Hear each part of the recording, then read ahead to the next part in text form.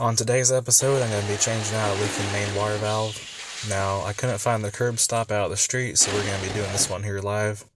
Um, the packing nut on this old gate valve it's actually snapped, and it was leaking water out the valve stem. So, basically, we're going to cut out this old valve and pro-press in a brand new ball valve. Now I've changed out a lot of main wire valves, just done them live before, and basically the key to doing it is leave the valve open, that way pressure doesn't push it back off the pipe. Then once you get it pressed on there, go ahead and shut the water off, and from there, hey, you got a valve to shut the water off. Next, all we need is about one coupling and a little length of pipe, and the customer is going to be all good to go. It's going to be hooked back up, and they're going to have water again. Now right now I'm only standing in about an inch and a half of water, so really there wasn't that much wire that came out from cutting the pipe open and it's an unfinished basement anyways, so hey, it's just a concrete floor, it's gonna dry.